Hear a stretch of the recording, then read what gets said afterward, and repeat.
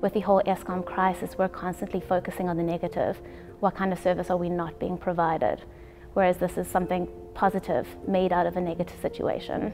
It's an incredible thing for Sun Exchange to take this upon themselves, having the initiative to do this for other people. We're rewriting the Earth narrative, and we need to make sure that that narrative is steered in a positive direction.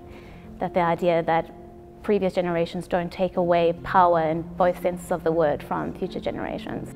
Most importantly, if the youth works together, we can make a huge difference. We as students know that our future is in our hands. I think for me, when I want to grow up, I want the world to be a better place. The world is in such a fragile state, it's very important for us to take steps in protecting it. And going solar is a great step for the school. Welcome to St Henry's Marist College in Durban, South Africa. We have strong family values, placing love and care into all facets of our education. 2019 marks St Henry's 90th year. We are thrilled to be Sun Exchange's 10 solar projects, allowing us to turn sunshine into clean energy for, for many, many, years, years to come. come.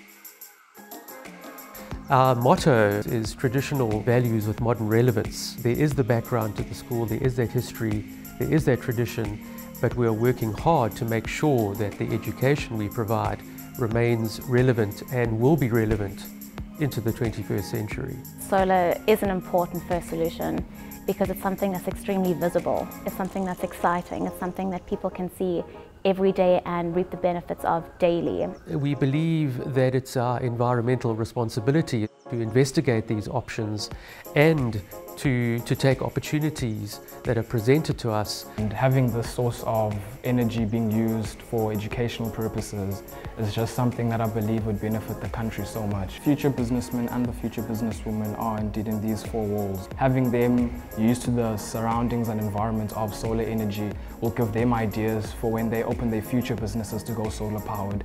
Schools such as ours don't have the kind of sophisticated budget to be able to afford to purchase the solar equipment that we would need uh, to run the kind of operation that we're hoping to do so. It's absolutely fantastic that anyone anywhere around the world can actually buy a cell, which will be installed here at St. Henry's. Just goes to show the wonders of technology. I feel that technology is really benefiting us and it is very exciting to see other people getting so willingly involved in projects like this. I believe that this is a good investment for people who want to invest in the future. The future is indeed with young people. By purchasing the solar cells here at schools, it allows the students to know that the world out there actually is looking into what we are doing and into what the school is doing. I'd like to encourage the Sun Exchange community to support our school in going solar.